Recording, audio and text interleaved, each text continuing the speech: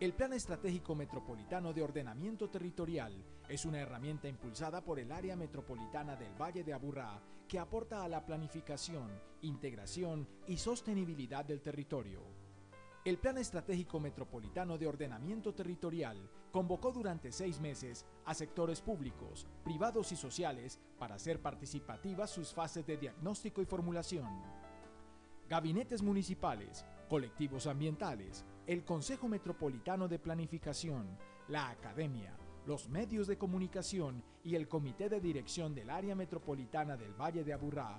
fueron algunos de los entes que participaron en la construcción de este plan estratégico que realizó 25 jornadas entre talleres y plenarias de trabajo y tuvo una asistencia total de 723 personas.